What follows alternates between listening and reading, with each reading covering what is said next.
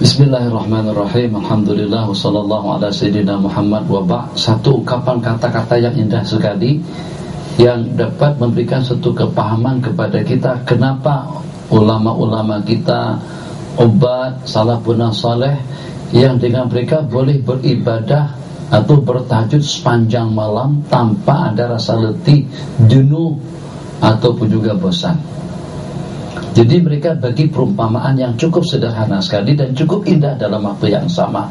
Jadi kata mereka, ahlul laili fi lailihim ka ahli lahwi fi lahwihim. Ahli ibadah di malam hari dalam ibadah mereka itu seperti ahli hiburan yang asik dengan hiburannya. Tek tek tek tek. Tek tek tek tek tek misalnya. Ji, nyanyi itu asik Ji. Asik. Kadang-kadang kalau Umi Kalsum dengan Wada Al-Jazairiyah di Mesir Itu kalau menyanyi sampai setengah jam Satu lagu aja, diulang-ulang. Hidup ini bagai lampu dinding Nanti diulang lagi, diulang lagi Dua, tiga, empat kali. Kelezatan dan kenikmatan dalam melakukan lagu tadi itu seperti itu lezatnya mereka pada waktu beribadah di hadapan Allah Jalla wa'ala. Jadi tadi dengan bahasa SMS Dengan bahasa Facebook Dengan bahasa telepon Dengan bahasa komunikasi Kenikmatan yang membuat kita asik. Allah balas lagi, balas lagi Masuk, kikik, kikik, balas lagi Kikik, kikik, balas lagi. Sampai subuh. Allah eh, Mesti waktu ini tak betul. Mau menyalahkan waktu lagi karena kena terlampau asiknya sedang berhubungan dengan dunia luar tuh dengan cicing, dengan sahabat kita, dengan teman kita yang sedang berada di luar negeri. Macam tu ibadah yang mereka laksanakan. Seasik kita dalam berhibur tuh orang yang dansa, yang dangdut, yang sedang menari, yang sedang berjoget. Kadang-kadang dia pajamkan matanya. Ah, tahu urusan joget saja, joget saja. Dan ada yang mengantuk sambil dansa sambil ada saya tak pernah tengok seumur hidup saya ada orang yang sedang dansa atau yang sedang joget, yang sedang uh, menari itu ternyata sambil mengantuk baik tari-tarian tradisional atau juga dengan lagu-lagu rock atau dengan lagu-lagu jazz atau dengan yang sejenisnya mesti semangat. Nah, sesemangat mereka pada waktu uh, berhibur, sesemangat mereka juga waktu mereka berubudiah kepada Allah Jalla wa ala. Kita simpulkan sembahyang rawatib Jangan ditinggalkan sebab dia adalah merupakan kelengkapan daripada sembahyangnya lima waktu agar sembah kita tampil layak dan mendoakan kepada kita agar kita mendapatkan kebahagiaan yang abadi dunia dan akhirat. Silakan pertanyaan yang pertama. Assalamualaikum warahmatullahi wabarakatuh. Bismillahirrahmanirrahim. Untuk mendapatkan kekusyukan dalam solat amatlah sulit Apakah kita termasuk dalam ayat yang disebut oleh Allah Subhanahu wa taala fawaidul lil musallin alladzina hum an salatihim. Jadi fawailul lil musallin celakalah bagi orang-orang yang sembahyang alladzina hum an salatihim sahun. Mereka-mereka yang lengah dan lalai dalam melaksanakannya. Kata ulama, maksud daripada sahur di situ adalah menangguhkannya daripada awal waktu atau menangguhkannya daripada waktunya. Ikut penafsiran yang kedua Lengah dan lalai Mengelamun dan menghayal Pada waktu sembahyang Begitu takbir Allahu Akbar Berserapuk benda masuk ke dalam kepala Allahu Akbar Nanti malam saya kena berkempen ya. Allahu Akbar Nanti kena Kena buat laporan dulu sebelum 24 hari bulan-bulan 4 akan datang. Allahu Akbar. Itu dengan bendera-bendera belum lagi letakkan di atas gunung. Masuk semuanya di dalam sembahyang. Allahu Akbar. Gincu habis. Diganti dengan yang mana satu. Allahu Akbar. Nasi belum masak. Nak pergi restoran mana satu. Ha, tu masuk berserabut. Masuk satu persatu dalam ingatan kita. Itu sembahyang yang kita laksanakan. Jadi bagaimana dengan kita-kita boleh khusyuk? Boleh khusyuk. Satu. Kita kosongkan Jauhkan diri kita daripada segala gangguan yang mengganggu. Biar mana boleh khusyuk Itu dengan tayangan TV dibuka di hadapan. Jadi kita sambil Wadil maghdubi alaihim. Kadang-kadang TV dia berubah-ubah. Ada yang senyum, ada yang salah, ada yang ketawa, ada yang menangis, ada yang macam-macam lah. Pasti terganggu, matikan TV Bunyi-bunyian, jauhkan daripada bunyi-bunyian. Pemandangan, jauhkan daripada pemandangan. Kalau boleh, satu kalar saja yang ada di hadapan kita. Itu secara zahir. Secara zahir, jangan pada masa waktu nak buang angin. Jangan pada masa waktu nak menunaikan hajat. Dapatkan khusyuk. Kalau pada waktu sakit perut Bawa sembahyang. Hmm tegang macam tu. Kenapa? Sebab angin naik ke atas. Sedangnya kena bu. Kalau bu macam tu batal pula sembahyang kita. Ha, kena kau lagi kena ulang lagi. Akhirnya kita tahan saja. Sepatutnya buang angin dulu kosongkan perut. Dan juga hajat kita hajat yang kita perlukan. Kalau bahasa sana satu dua buang air besar buang air kecil kedua-duanya. Supaya tidak ada gangguan yang mengganggu. Kalau tidak kalau pada masa kita tabang air kecil dan dah lama ada Tapi malas berudu.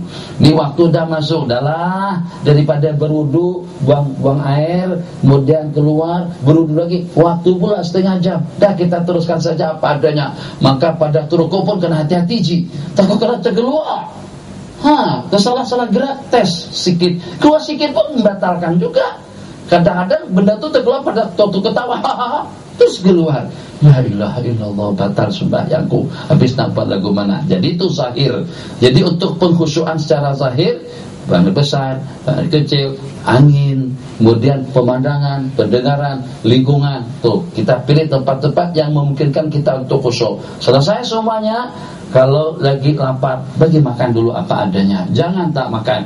Jangan sampai sembahyang dekat arus dapur, dekat dapur. Tuh asap angin masuk, bayang depan itu cium bau.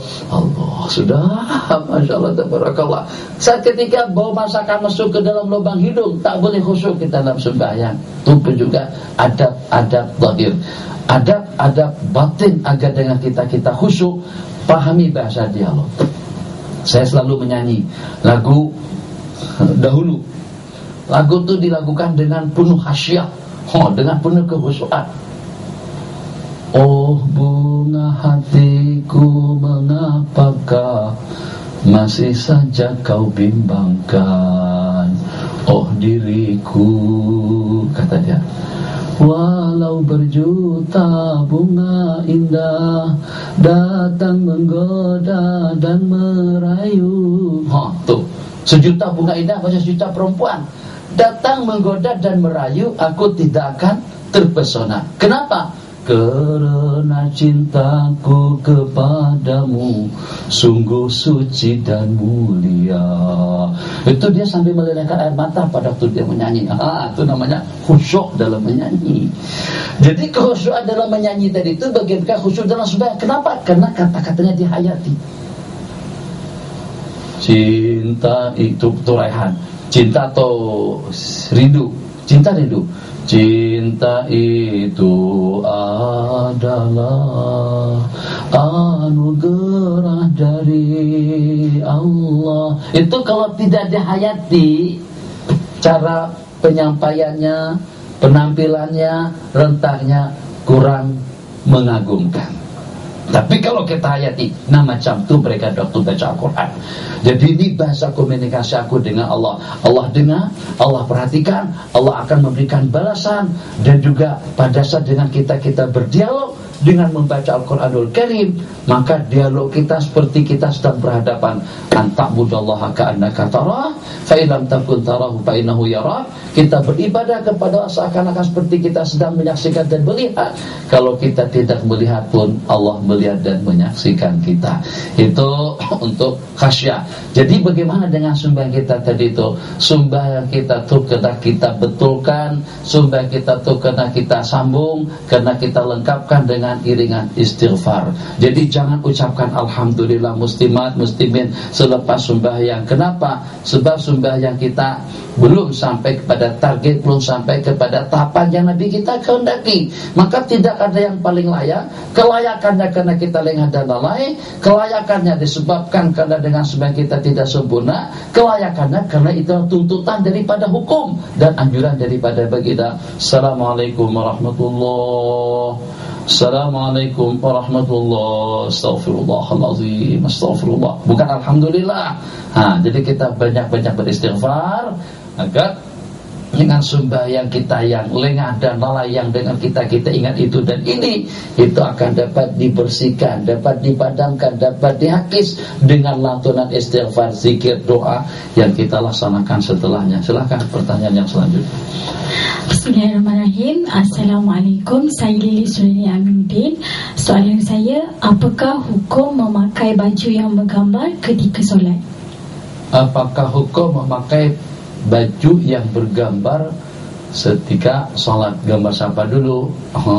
Hok Hoge itu pecinta Gusti Siti peminat Siti Mawi penggemar Mawi Tuan Guru penggemar Tuan Guru. Tetap semua jenis-jenis gambar itu ulama mengatakan hukumnya makruh. Makruh dengan kita yang memakai dan akan mengganggu orang di belakang. Nah, macam mana pun kita tidak boleh kontrol diri. Apa benda yang ternampak Mesti pikiran kita akan bermain. Maka akan kita pikirkan Kita ternampak kamera Pikiran kita dengan kamera Nyala lagi nomor satu. Nanti katanya kalau dua pindah ke dua Macam tu. Tu dulu-dulu kan macam tu. Lengu kita. Jadi kadang-kadang Dah fokus ke satu Nyala yang dua Pusing lagi kedua Nyala tiga Pusing lagi ketiga Haa itu rasa-rasa seperti dibuat-buat saja. Lebih nyaman kalau pada itu kita relate dan santai. Itu dalam kehidupan kita. Jadi kembali kepada pertanyaan yang ditanyakan tadi itu pada saat dengan kita kita dihadapkan dengan pakaian yang sumbang di depan kita tuh pakai baju oh membalut tubuh. La ilah rokok di hadapan kita Allahu Akbar.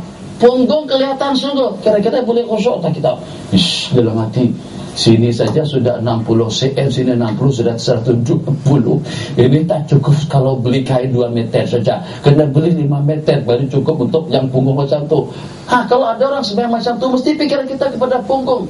Ini beli kain jenuh lah aku kalau seandainya aku yang menjadi suaminya untuk lingkaran kain di punggungnya saja sudah habis dalam berapa meter Masya Allah Tabarakallah pesawat orang ya setakat seribu 200 dolar Amerika cukup tuh pergi ke Mekah. Ini terpaksa ambil tiga kursi. Hmm, 4000 dolar. Hanya tuh satu punggung saja. Nah tuh satu mengganggu. Begitu juga pada waktu kita sembahyang ada orang pakai celana jeans yang ada salibnya di belakang. Tuh jahitan seperti salib. Terganggu pikiran kita. Macam itulah juga dengan gambar jadi yang walaupun tidak membatalkan sembahyang memakai pakaian yang bergambar akan tapi hukumnya makruh. Perkara makruh itu maksudnya kalau kita elakkan kita dapat pahala, kalau kita lakukan, kalau kita buat kita tidak mendapatkan apa-apa. Kita takna kalau menjadi sia-sia perkara-perkara yang kita lakukan dalam keseharian kita. Kita letak selendang untuk apa? Kita pakai selendang untuk apa? Muslimat tampil lawa cantik pakai stasi Nah tuh ungu sama atas bawah hitam sama atas bawah merah sama atas sama coba lihat ini. Sama tuh tak? Eh, ada tak? Sini hijau atas biru. Wah berkata tuh siapa tuh Nggak ada. Hijau-hijau semuanya. Hitam-hitam semuanya. Itu keserasian dalam berpakaian. Nah macam itulah juga akhwat jadi bukannya tak boleh Tapi akan mengurangkan nilai ibadah kita. Silahkan ada pertanyaan yang lain?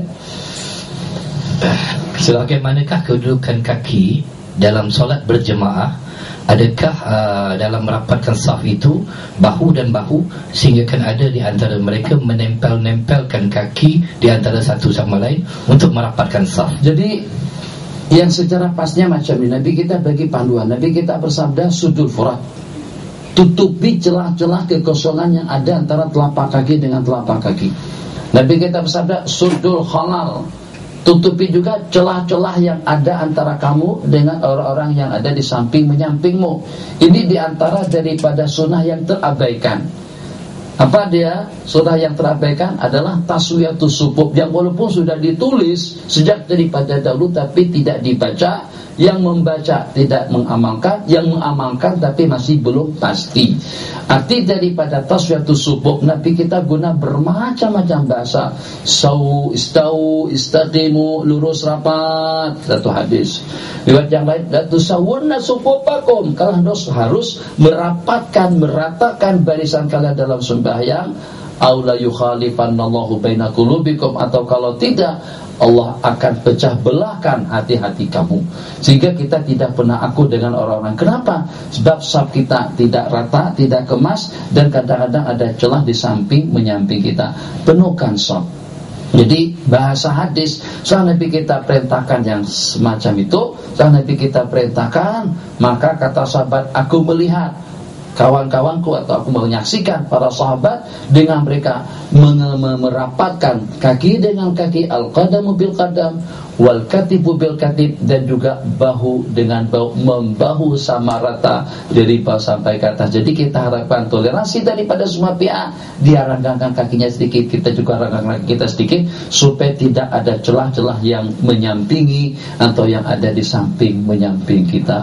Hada wabillahi taufik. Insyaallah kita pada episode yang akan datang kita akan membicarakan tentang jenis-jenis sumbah yang sunat selain daripada rawatib yang patut untuk kita laksanakan seperti sembahyang sunat duha, tahajud, tasbih dan juga dengan sembahyang-sembahyang lainnya. Hada wabillahi taufik wa sallallahu ala sayyidina Muhammad wa ala alihi wa sahbihi wasallam. Alhamdulillahi rabbil alamin.